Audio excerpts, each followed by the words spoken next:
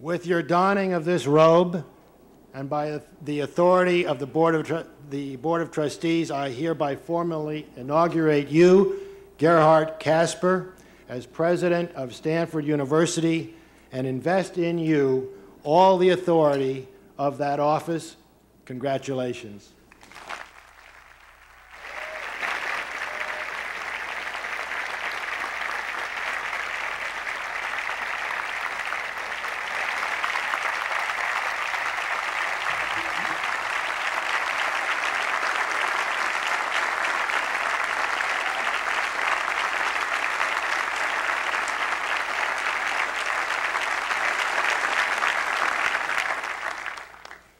Thank you.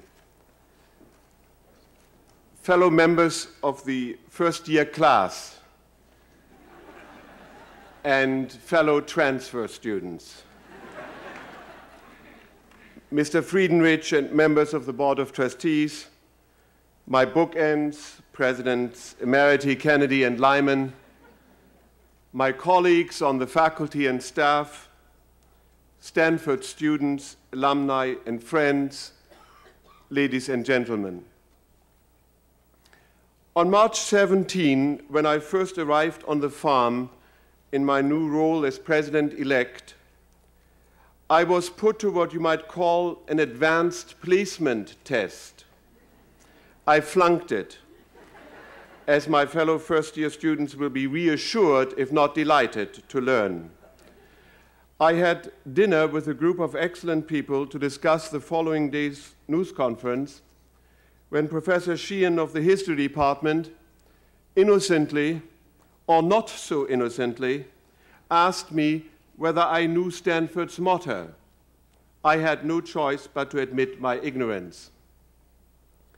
The next day, having spent the intervening hours educating myself, I was able to remind everyone else that Stanford's first president, David Starr Jordan, chose Die Luft der Freiheit weht, the wind of freedom blows, as the informal motto. It can still be found in the president's seal, which adorns the front cover of your printed program. It is obvious, at least it is obvious to me, that Jordan put it there in German rather than in English, in order to enable me to speculate at my first press conference that the trustees had chosen me because they wanted a president who could pronounce the original properly. Alas, I have bad news for the Board of Trustees. Historical research shows that the original of the original is in Latin and reads Videtis illam spirare libertatis auram. Since it is notorious that no two students of Latin the world over can agree on its pronunciation, there is no particular reason why my pronunciation should be preferred. If, under these circumstances, the trustees would feel it appropriate to renounce their contract with me, I would understand perfectly. All I asked for is the opportunity to finish this speech. However, in case the trustees would rather not start the presidential search all over, I now formally and with a strong sense of my own shortcomings accept the responsibility Stanford University has seen fit to confer upon me. After Canadian-born Wally Sterling, I shall be the second Stanford president of foreign origin, though I wager the English taught me by Frau Bezer in Hamburg is more distinct than the English Wally Sterling learned growing up in Ontario. Permit me to quote at the outset from the opening of Sterling's own remarks at his inauguration in 1949, and to adopt his words as expressing my own sentiments at this occasion. Sterling said, I accept this responsibility with pride. I am proud to be one of that noble company of men and women whose business is education. And I'm proud to be associated with this university. I accept my responsibilities with humility. I have read something of Stanford's history.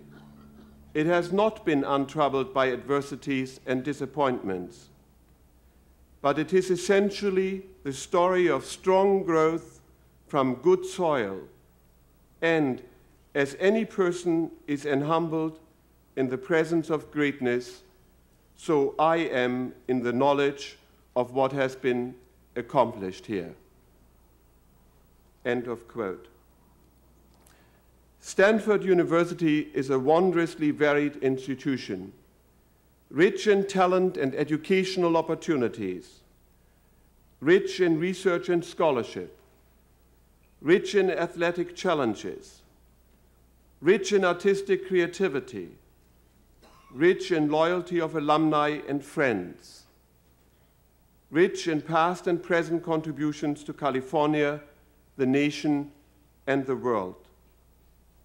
As measured in terms of what Stanford should contribute to the future, it may not be rich in financial resources, but it is rich in its capacity as a university to pull together and to do its work, the work of a university, the work of a great university, with integrity and determination.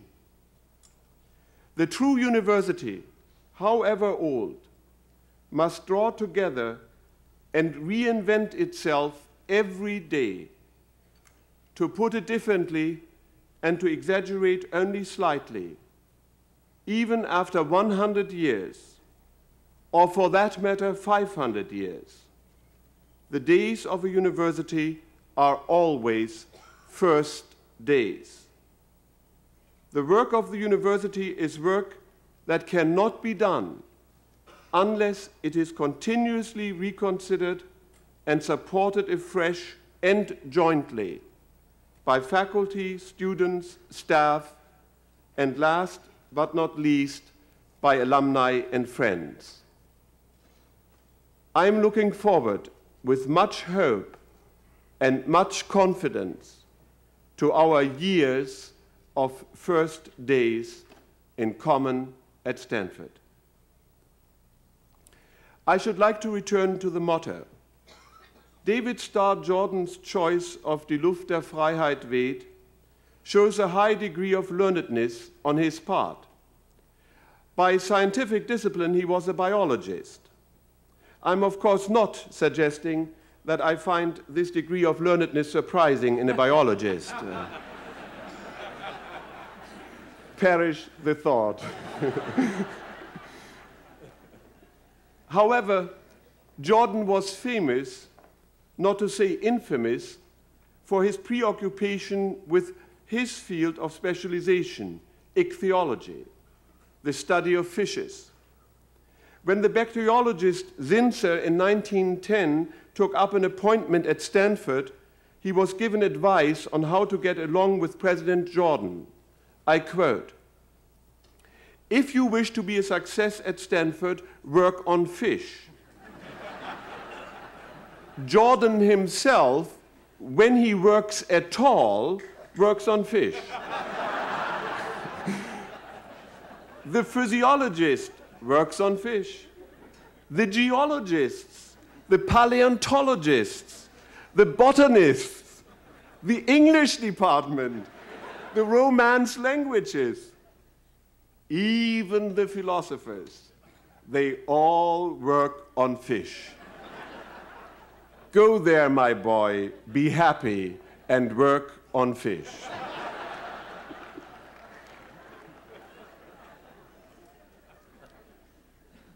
How did we get a motto that nowhere mentions fish? the just quoted calumny notwithstanding, David Starr Jordan had the most wide ranging interests. Among these was the German humanist Ulrich von Hutten, who had lived from 1488 until 1523, and who, in the course of the 19th century, had captured the public imagination as an early fighter for secular freedom. The famous theologian David Friedrich Strauss had published a two volume biography of Hutten that Jordan had read in the German original, and on which he based his own sketch of Hutten's life, first published in 1886. It is in Strauss's biography that we find the German version of Hutten's Latin text that Jordan, after suggesting it to Mr. Stanford, got accepted as the unofficial Stanford motto. In Jordan's words, Mr. Stanford was impressed with the winds of freedom, which we hoped would continue to blow over Stanford University. As I have mentioned, Hutten was born in 1488. He belonged to the lesser German nobility that at the time found itself severely squeezed by the princes of the Holy Roman Empire and by the Church. On account of his, young, of his weak constitution, young Hutten was sent to a monastery school for a career in the church. However, at age 17, the age of some of you in the audience this morning, he fled the monastery and became a vagrant student, moving from one university to another in search of humanistic learning, first in Germany, then in Italy. He had greater difficulties in finding the right place than you have had in settling on Stanford. Hutten's earliest claim to fame is his role in a celebrated controversy concerning the preservation of Hebrew literature against efforts to have the emperor order the collection and destruction of all Jewish books. When Reuchlin, one of the leading humanists, spoke out in favor of the Talmud and other ancient Hebrew texts, he was tried for and eventually convicted of heresy. Hutten and a friend employed the weapon of satire in defense of Reuchlin and against the scholastic enemies of learning and scholarship. Their satirical letters from obscure men provoked both approving chuckles and admiration from such fellow humanists as Sir Thomas More. Its serious aspects aside, the Reuchlin affair was also exhilarating for the young scholars. You catch some of Hutten's enthusiasm for his world of scholarly and scientific endeavors in what he wrote to a friend in 1518. It is a pleasure to live, studies blossom, and the minds move. In 1521, at the time when the church reformer Martin Luther was called before the Diet of Worms to abjure his beliefs and teachings, Hutten, in support of Luther and the cause of truth and freedom, published in Latin three so-called invectives. In the third of the invectives, he admonished his own and Luther's enemies among the clergy with the words videtis illam spirare libertatis auram. Strauss rendered the Latin text into German by transforming the affirmative statement into a rhetorical question, which Jordan translated into English as, See you not that the wind of freedom is blowing? Stanford's motto is the abbreviated affirmative statement, Die Luft der Freiheit weht. For Hutten, what was the freedom whose wind was blowing? Clearly, freedom from as yet unreformed church orthodoxy, freedom from the Inquisition, freedom from Rome's worldly aspects. But freedom was also intellectual freedom, the freedom to engage in fearless inquiry, and the freedom to speak your mind robustly and without inhibition. Hutten certainly used robust and even harsh language. The 19th century Swiss poet Conrad Ferdinand Meyer composed an epic poem of almost 200 pages entitled Hutten's Last Days, in which, as I discovered to my bemusement this summer, he rendered what Jordan chose for Stanford's motto as the harsh wind of freedom blows. The reasons for Jordan's interest in Hutten are easy to discern because as early as 1886 he had published an account of the life of Hutten which implicitly and explicitly tells us what David Starr Jordan considered important about Hutten and therefore about the freedom in the wind of freedom blows. The opening paragraph of Jordan's sketch says much about what he himself valued. I quote Four centuries ago began the great struggle for freedom of thought, which has made our modern civilization possible. I wish here to give something of the story of a man who in his day was not the least in this conflict a man who dared to think and act for himself when thought and act were costly. Elsewhere, Jordan writes that Hutten was a man not of free thought only, but of free speech and knew no concealment. Jordan also refers to Hutten as somebody who was intolerant of intolerance why you have started asking yourselves some time ago is the new president telling us all this? or rather, since this is informal California, you have probably been asking, why is Gerhard telling us all this? Just because he was embarrassingly ignorant way back in March? Well, that is part of it.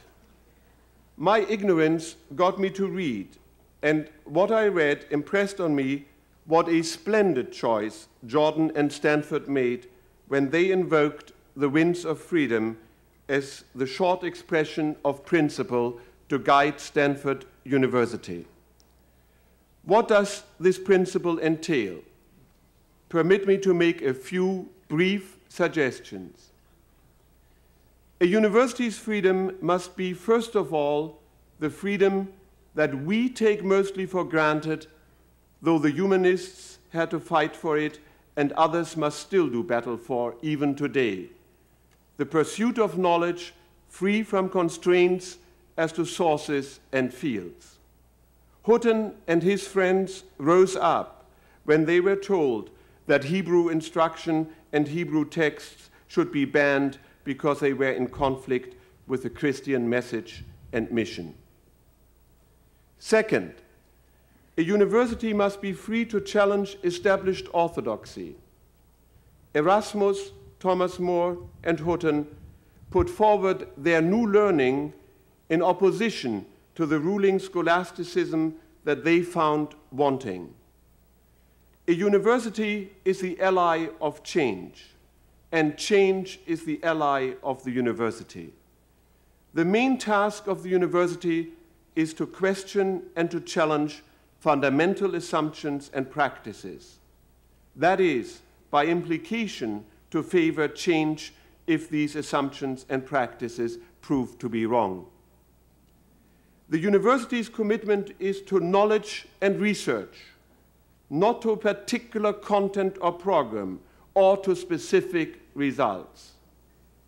Only in one respect must the university be rigidly conservative.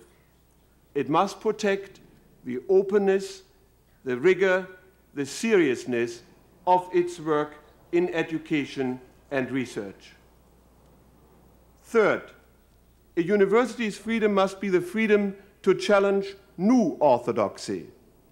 Just as traditions should not be embraced merely because they are traditions, the newest intellectual fashions should not rule just because they are new.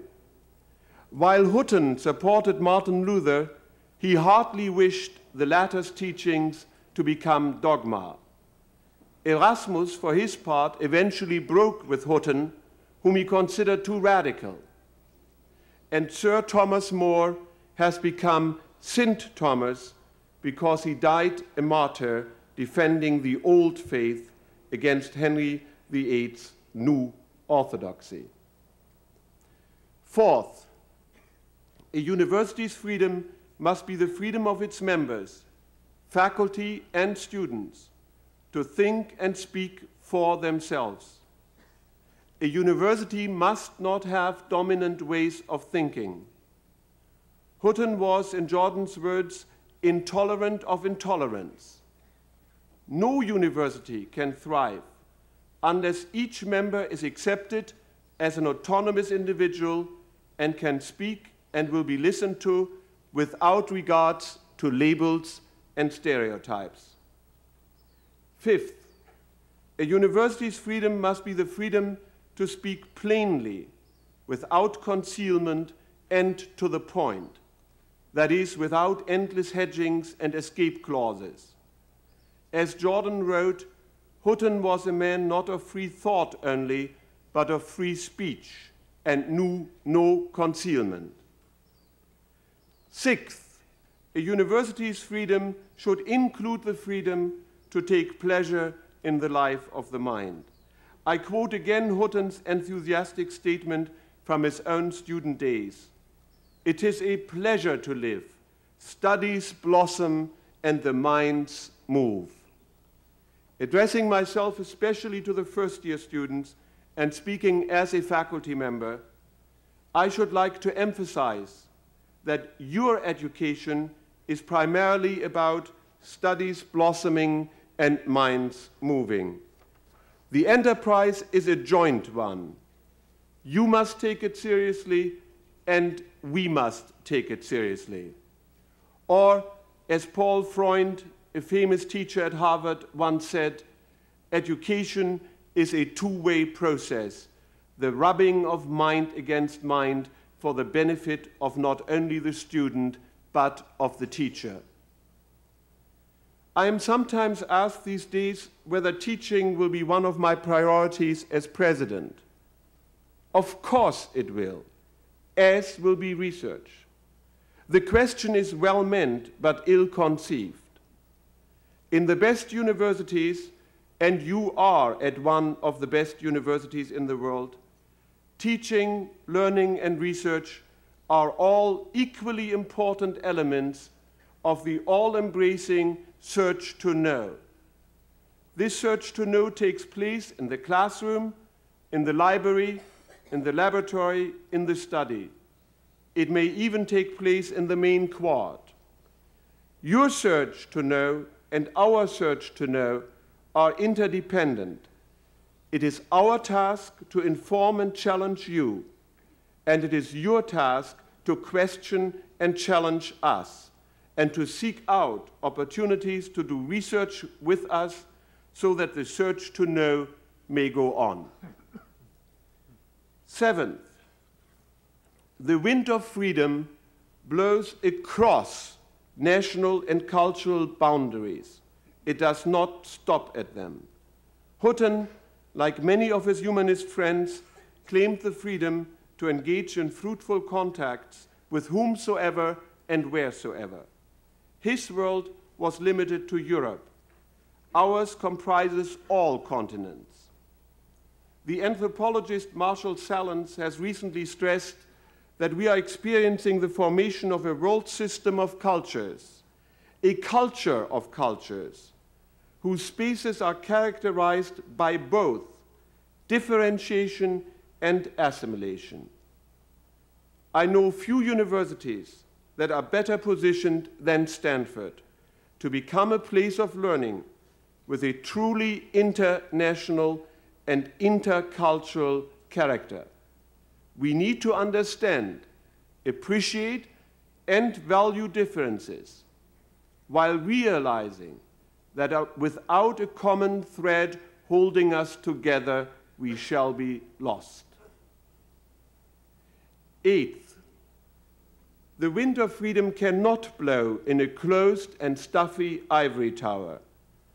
Members of a university community must not shy away from the social and political issues of their time, from shaping the social and political values of society, from engaging in public service.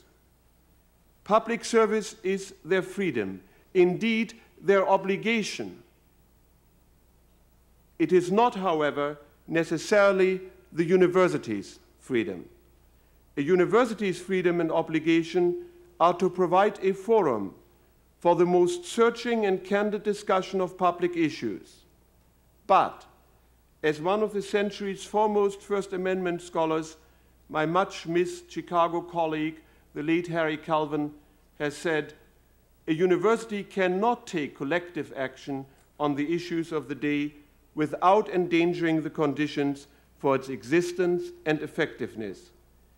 There is no mechanism by which it can reach a collective position without inhibiting that full freedom of dissent on which it thrives. This viewpoint arises not out of lack of courage, nor out of indifference or insensitivity. It arises out of respect for free inquiry and the obligation to cherish a diversity of viewpoints.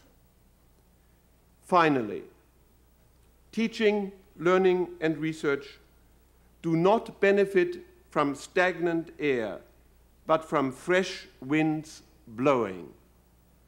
There can be no fresh wind without highest quality research. Mediocrity leads to nothing other than more mediocrity.